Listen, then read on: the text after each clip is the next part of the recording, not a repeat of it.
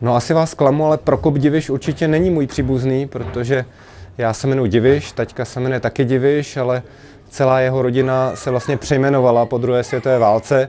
Jmenovali se rodina Dietrich, takže možná spíš moje příbuzná bude Merlen Dietrich než Prokop Diviš.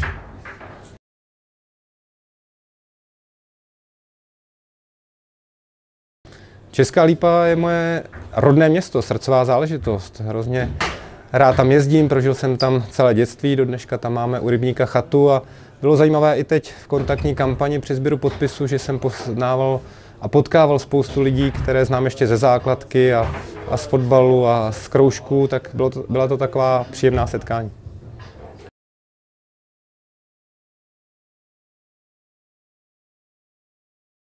Tak já jsem chtěl být kosmonaut, já jsem ročník 76, takže eh, nebylo to tolik let od doby, kdy eh, první člověk Jurij Gagarin letěl do vesmíru a já jsem vždycky chtěl letět nějakou raketou ke hvězdám. Měl jsem proto asi rád i různé ty sci-fi filmy. No a to se nesplnilo, tam jsou hrozně tvrdá, tvrdá přijímací řízení, co se týká zdravotního stavu a ani těch kosmonautů Česká republika moc nemá.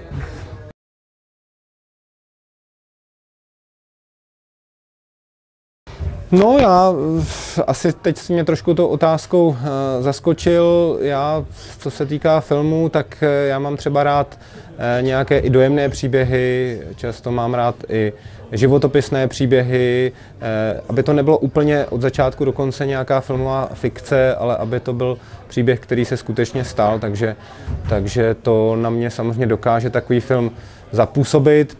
K poslední době na mě hodně zapůsobil film Krajina ve stínu, Eh, který právě vyprávěl o tom, eh, jaké věci se tady děly eh, na konci druhé světové války, jak Češi dokázali otočit, kdy chvíli kolaborovali se s Němci, potom když přišly ty národní gardy, jak převlékli tu pásku. A to je příběh, který mě se osobně taky hodně dotýká, protože třeba můj děda vlastně během války, on byl vyučený kuchař číšník, tak byl zavřený gestapem, protože prodal českým lidem cigarety Ti ho samozřejmě udali, takže skončil na gestapu, reálně mu hrozila poprava.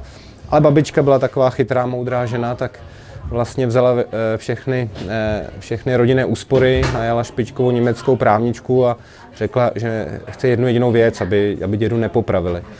No a nějak se to podařilo a těsně před koncem války ho dokonce pustili potom. No ale samozřejmě přišli komunisti, estebáci a začali se pidit potom, jestli děda náhodou nebyl kolaborant, jestli náhodou e, nevyšel z toho pankrátského vězení, jak je to vlastně možné, že ho nepopravili. No. Takže eh, když teda přežil to, to, ty výslechy gestapa, no, tak e, potom zase chodil k výslechům ke stébákům a vyprávěl mi pak, že byla chvíle, kdy jel z nějakého výslechu někde z Liberce domů do České Lípy a měl pocit, eh, že asi, asi skončí celé to martýrium, tak rozhodoval se, jestli skočí pod vlak. Naštěstí si uvědomil, že měl a má dvě děti, moji mamku a mého strejdu, tak, eh, tak to naštěstí neudělal, ale musím se přiznat, že tento film Krajina ve stínu na mě právě hodně zapůsobil, protože jsem v tom viděl i kus příběhu svojí rodiny. A ten film hodně i vypovídá o nás Češích a to mě mrzí a to bych třeba i chtěl změnit, pokud se stanu prezidentem.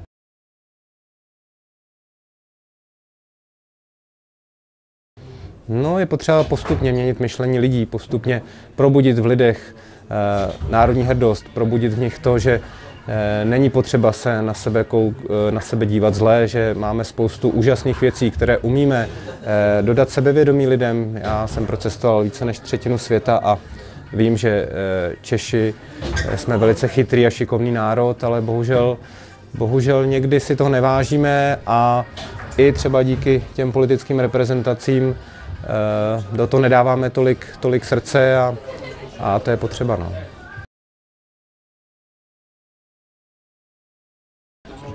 Jednoznačně prezident by měl být příkladem, být co nejvíc mezi normálními, obyčejnými, běžnými lidmi, ať už to nazveme jakkoliv. To znamená nebýt zavřený někde na hradě nebo jenom někde s ochrankou eh, se vyhýbat styku s lidmi, být mezi nimi a ukazovat jim, vyprávět jim o tom, co třeba při cestách po republice nebo při cestách v zahraničích viděl, slyšel, zažil, jak o nás dobře mluvili, o naší zemi, jaké jsme měli úspěchy, dodat skutečně sebevědomí, že za to, když eh, eh, někdo z České republiky má úspěch, tak aby nechodil kanály, aby se nebál, nebál to říct, nebál se otevřeně o tom hovořit a eh, neříkal ještě, že vlastně úspěch se neodpouští, takové to nehezké heslo. Tohle musíme změnit a to prezident rozhodně může tím, jak bude vystupovat a, a jak bude skutečně tu atmosféru v té zemi nějakým způsobem ovlivňovat.